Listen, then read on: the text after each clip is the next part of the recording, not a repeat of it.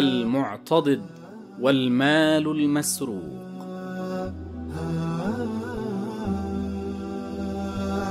مما ذكر من خبر الخليفة المعتضد وحزمه في الأمور وحيله أنه أطلق من بيت المال لبعض الرسوم في الجند عشر بدر وهو كيس به عشرة آلاف درهم فحملت إلى منزل صاحب عطاء الجيش ليصرفها فيهم فنقب منزله في تلك الليلة وأخذت العشر بدر فلما أصبح نظر إلى النقب ولم ير المال. فأمر بإحضار صاحب الحرس وقال له إن هذا المال للسلطان والجند ومتى لم تأت به أو بالذي نقبه وأخذ المال ألزمك أمير المؤمنين غرمة. فجد في طلبه وأحضر التوابين والشرط والتوابون هم شيوخ اللصوص الذين كبروا وتابوا فإذا جرت حادثة علموا من فعل من هي فدلوا عليه وربما يتقاسمون واللصوص ما سرقوه في بعض الأحيان. فتقدم إليهم في الطلب وتهددهم وتوعدهم فتفرق القوم في الدروب والأسواق والمواخير ودور القمار. فما لبثوا أن أحضروا رجلا نحيفا هزيلا ضعيف الجسم رث الثياب. فقالوا يا سيدي هذا صاحب الفعله وهو غريب من غير هذا البلد. فأقبل عليه صاحب الحرس فقال له ويلك من كان معك؟ ما أظنك تقدر على عشر بدر وحدك في ليلة. فما زاده على الإنكار شيئا. فأقبل يترفق به ويعده أن يرزقه ويعظم جائزته ويتوعده كذلك بكل مكروه وهو على إنكاره.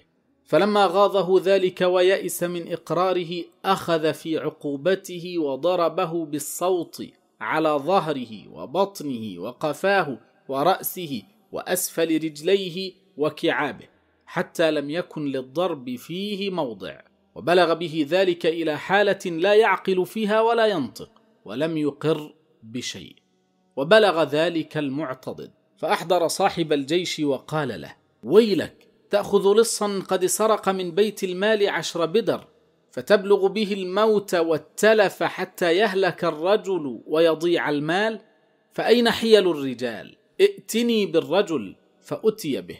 وسأله فأنكر فقال له ويلك إن مت لم ينفعك وإن برئت من هذا الضرب ونجوت فلن أدعك تصل إليه فلك الأمان والضمان على ما تصلح به حالتك فأبى إلا الإنكار. فقال المعتضد علي بأهل الطب فأحضروا. فقال خذوا هذا الرجل إليكم فعالجوه بأرفق العلاج وواظبوا عليه بالمراهم والغذاء واجتهدوا أن تبرئوه في أسرع وقت. فأخذوه إليهم حتى صح وقوي جسمه وظهر لونه ورجعت إليه نفسه ثم أمر المعتضد بإحضاره فلما حضر بين يديه سأله عن حاله فدعا وشكر وقال أنا بخير ما أبقى الله أمير المؤمنين.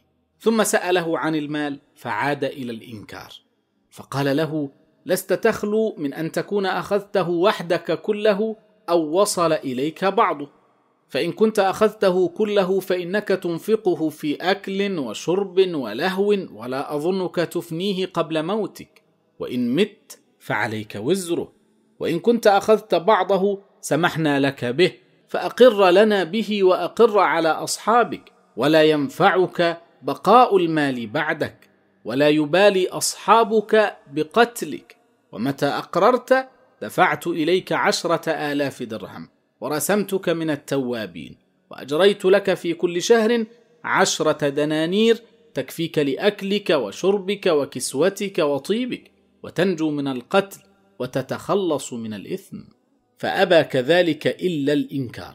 فاستحلفه فحلف وأظهر له مصحفا واستحلفه فحلف عليه فقال المعتضد إني سأعثر على المال فإن أنا وجدته بعد هذه اليمين قتلتك فأبى إلا الإنكار كذلك. فقال له فضع يدك على رأسي واحلف بحياتي. فوضع يده على رأسه وحلف بحياته أنه ما أخذه وأنه مظلوم متهم وأن التوابين قد تبرأوا به. فقال له المعتضد فإن كنت قد كذبت قتلتك وأنا بريء من دمك. قال نعم. فأمر الخليفة بإحضار ثلاثين رجلا من أشد ما يكون الرجال وأمرهم أن يتناوبوا في ملازمته. فأتت عليه أيام وهو قاعد لا يتكئ ولا يستند ولا يستلقي ولا يضطجع. وكلما خفق خفقة لكم في فكه وضرب على رأسه. حتى إذا ضعف وقارب التلف أمر المعتضد بإحضاره. فأعاد عليه ما كان خاطبه به فحلف أنه ما أخذ المال ولا يعرف من أخذه. فقال المعتضد لمن حضر قلبي يميل إلى أنه بريء وأن ما يقوله حق. ثم أمر بإحضار مائدة عليها طعام وأحضر بارد الشراب وأمره بالجلوس فأقبل يأكل ويشرب ويحث على الأكل ويلقم ويعاد الشراب عليه ويكرر. حتى لم يبق للأكل والشرب موضع. ثم أمر ببخور وطيب فبخر وطيب وأتي له بفراش ريش فوطئ له ومهد. فلما استلقى واستراح وغفى أمر المعتضد بإزعاجه وسرعة إيقاظه. فحمل من موضعه حتى أقعد بين يديه وفي عينيه الوسن. فقال له حدثني كيف صنعت وكيف نقبت؟ ومن أين خرجت؟ وإلى أين ذهبت بالمال؟ وقل لي من كان معك؟ قال ما كنت إلا وحدي وخرجت من النقب الذي دخلت منه وكان مقابل الدار حمام له كوم شوك يوقد به فأخذت المال ورفعت ذلك الشوك فوضعته تحته وغطيته وهو هنالك. فأمر برده إلى فراشه فردوه وأضجعوه عليه. ثم أمر بإحضار المال فأحضر عن آخره وأحضر صاحب الحرس والوزير والجلساء. وقد غطى المال بالبساط ناحية من المجلس. ثم أمر بإيقاظ اللص وقد اكتفى من النوم وشبع وذهب عنه الوسن. فقال له بحضرة الجميع مثل قوله الأول فجحد كذلك وأنكر فأمر بكشف البساط وقال له أليس هذا المال؟ ألم تفعل كذا وكذا؟ يصف له ما حدثه به. فأسقط في يد اللص ثم أمر فقبض على يديه ورجليه وأوثق ثم أمر بمنفاخ فنفخ في دبره وأتى بقطن فحشي في أذنيه وفمه وخيشومه وأقبل ينفخ وقد خلي عن يديه ورجليه من الوثاق وامسك بالأيدي وقد صار كاعظم ما يكون من الزقاق المنفوخة وقد ورم سائر أعضائه وعظم جسمه.